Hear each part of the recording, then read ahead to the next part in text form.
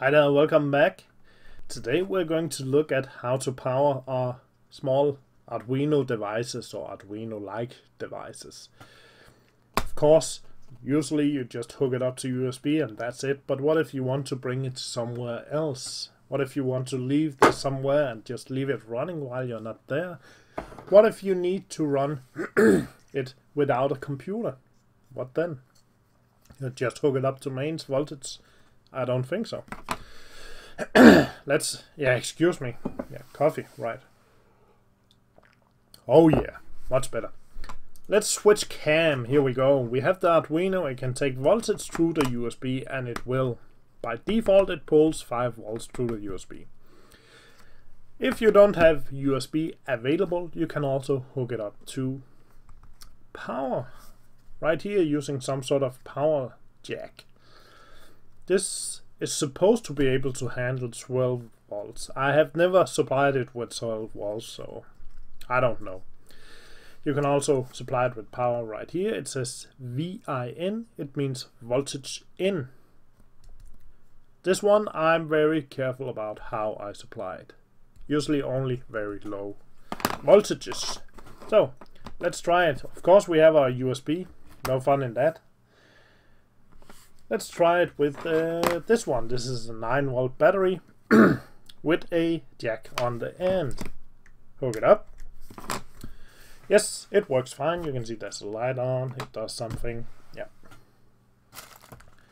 Then you can also get uh, battery packs. Different kinds of battery packs. Got one right here. Something like this.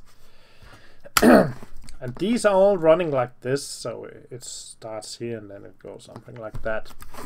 So,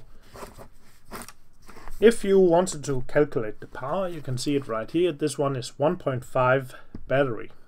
So it's 1.5 plus 1.5 plus 1.5 plus 1.5. That's a 3, 6, something like that. If we measure the power, it should be reasonable Let's do that. We're going to take our voltmeter, set it to voltages.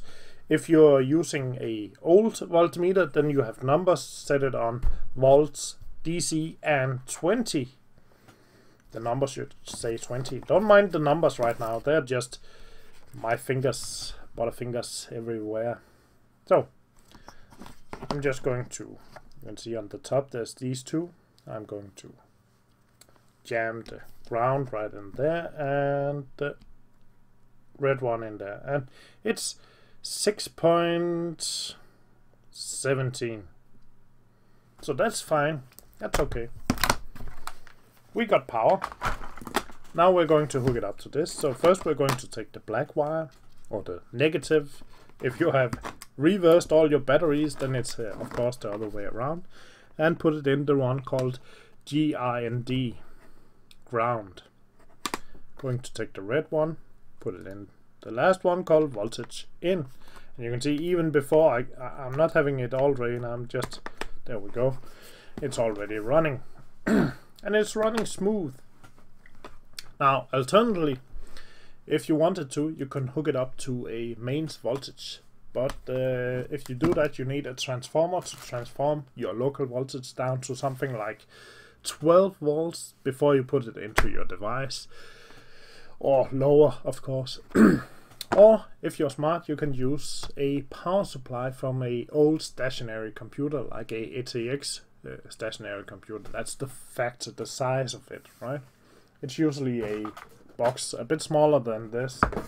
Uh, that has a lot of wires coming out of it. Runs into your motherboard graphics card etc some of these wires are 12 volts I have a lamp right here. You saw the flicker? That's actually directly through my computer recording this. I'm pulling 12 volts to a lamp. And that's no problem because the power supply in my computer is a 1 kilowatt power supply. and it's able to supply, I think it's 4 8 amps. So running a small lamp through my computer, no problem. The problem can be the way you connect it up to the power supply. Sure, the devices or the components can easily handle the voltages, but the wires and the connectors may not be able to handle the voltages. if you don't have access to a power supply, you most likely, well, this is a European plug, but uh, wherever you live, plugs look different, but I'm sure you have these transformers from old computers or gaming consoles or all sorts of things and maybe you don't have the device but you have the power supply. That's cool. We can use this. Let's check this one out. Yeah let's check it out I said. There we go. So here we have it. What's important to us is our mains voltage. You can see it's up there it's very hard. This webcam is shit, but yeah, it says uh, 220 to 240 volts, AC 50 hertz, that's European, Denmark. Output 12 volt DC 1000 milliamps. Perfect. 12 volts. 12 volts is uh, exactly what we could use for our Arduino. And this one actually has a plug that fits in the Arduino. But considering this one has a fake CE sticker on it. I'm not sure I'm going to hook this up to my small devices before I have tested it. Instead of testing it, I'm just going to use it, but I'm going to put something between this and my devices. Let's hook it up to main voltage. There we go. Now power is on. I have made this contraption on a piece of wood. Yeah, it's not conductive wood, you know. I got a small buck converter right here. This part over here is just some capacitors where I divide the voltages. Amp meter at the top. What's important is that I'm getting voltage in and as you can see right now I'm putting 5 volts out to this cable right here. Well, it's not on, but if I turn this switch you can see there's a small light going on, meaning I'm outputting power. But when I click this button, I'm going to see the voltage input. So if you remember the transformer I just plugged in, it's running into here. It says output 12 volts. Let's see. Nope. 14.7 actually. It's more like 50 volts. 15, sorry. 15 volts, I'm not sure my Arduino will be able to handle 15 volts. I don't know, I haven't tried, but I'm not going to try.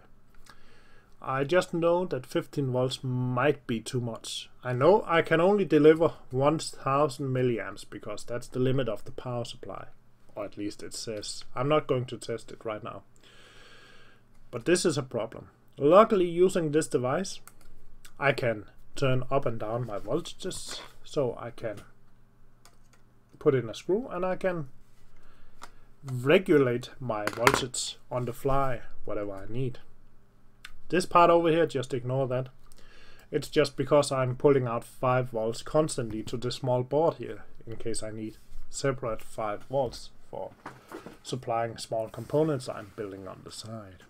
So that's four ways today how to power your Arduino. Of course we'll be using them whenever we are going to build some components in the future. But I'll see you in the next video. The next video is going to be about resistors and LEDs. Thanks for watching and I'll see you next time.